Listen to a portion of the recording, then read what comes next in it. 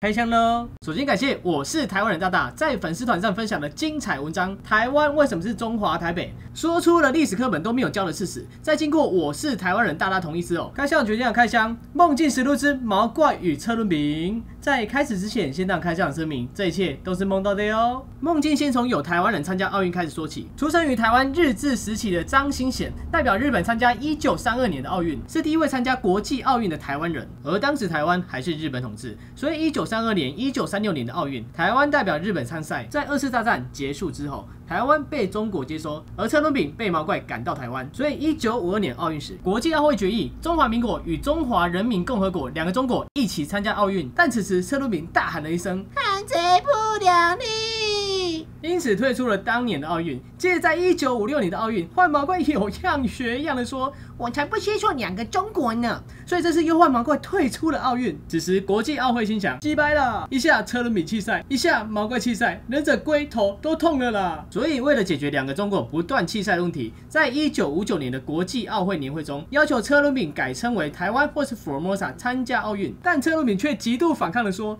台湾里面又没有中国，我不要在台湾呐！所以车轮饼除了在一九六零年、一九六四年、一九六八年都以台湾的名称参加奥运之外，也同时举牌抗议了台湾这个名称十二年之久。而这一抗议也的确有了成效，在一九七二年的奥运，国际奥会同意车轮饼以 ROC 缩写参赛。只可惜好景不长啊！一九七一年，联合国决议只承认一个中国，车轮饼退出联合国。所以在一九七六年奥运时，国际奥会再度要求车轮饼将参赛名称改回台湾。主办单位加拿大也要求必须用台湾才能入境。自觉面子挂不住的车轮饼，一气之下又弃权了这届奥运。此时国际奥会心想：哥，给你叫台湾你也不要，不是抗议就是弃赛；给你叫中国，势力越来越大的毛怪又不会同意，干脆台湾跟中国掺在一起做撒尿牛丸算了啦。于是国际奥会在一九七九年决议。China 与台湾各取一半意义之后，Chinese Taipei 将成为车轮饼之后的参赛名称。而这个名称，毛怪觉得 Chinese Taipei 中国台北没败哦。而车轮饼也觉得名称里有个中国诶，在哪？于是最后双方欣然同意，并且于一九八一年，车轮饼也在瑞士签下了同意协定书之后。中华台北这四个字也成为台湾参加任何国际场合的称号，而且一用就是三十年，也成为毛怪打压台湾主体意识的最佳手段。无论当初车轮饼放弃台湾称号而选择中华台北是被迫还是赌气，是正确还是错误，你我都改变不了这个历史下的事实。但我们知道是越来越多的台湾人开始疑惑中华台北这称号由来，连 CNN 也报道过相关的报道。但是小朋友问大人、问老师，甚至翻开历史课本，都没有人告诉我们中华台北的由来。台湾